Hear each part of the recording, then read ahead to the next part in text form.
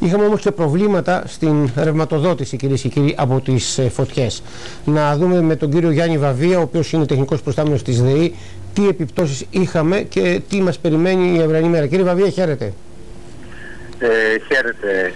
Ε, ε, ε, βλάβες είχαμε σήμερα στην ε, περιοχή των Φερών, εκεί Ναι. όπου επιτάθηκε το μεγάλο μέτωπο ε, στις σφαίρες της πυρκαγιάς.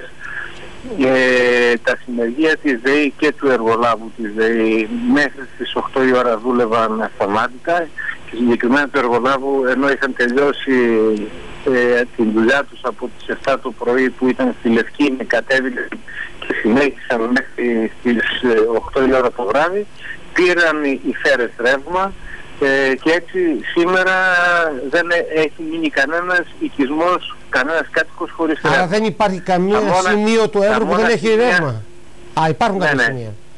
Τα μόνα σημεία που δεν έχουν ρεύμα είναι η ΕΡΤ ε, της Λευκήμης ε, όπου αύριο μέχρι τις 12 η ώρα ευελπιστούμε να τελειώσει γιατί εκεί έχει γύρω στα γύρω στο 1,5 χιλιόμετρο δικτύου είναι Ναι. καμένο ε, θα αποκατασταθεί γύρω στις ε, 12 η ώρα το μεσημέρι και την Κυριακή θα έχει αποκατασταθεί το ραντάρ των λουτρών. Ε, Τα δύο αυτά Άλλο σημεία βλάβες δηλαδή δεν που είναι, ναι, ναι, τα δύο αυτά σημεία τα οποία έχουν υποστεί τις μεγαλύτερες βλάβες. Κατά τα άλλα, Ναι, ναι, ναι. όλη η γεωγραφική ενότητα που έχει πληγεί από τη φωτιά είναι καλυμμένη πλέον με παροχή ρεύματος, δεν υπάρχουν προβλήματα. Ναι, ναι, ναι, βέβαια. βέβαια.